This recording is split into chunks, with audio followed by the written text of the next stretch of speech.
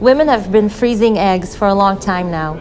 So, in a hospital in Israel, they noticed that women froze eggs two years, three years, five years, 10 years, 15 years ago, and never came back for the eggs.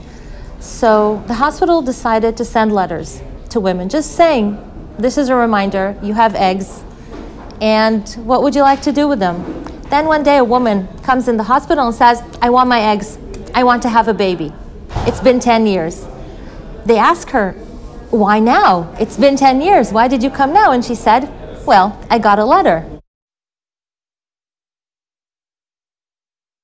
Mostly my angle is that I look at the way information is presented to people in many, many ways, always in the medical context, and look for ways to improve that so they can really engage with their health and make better decisions. In this time, on one hand, we have many tools. We have a lot of digital health and other tools that can help us and that people can use.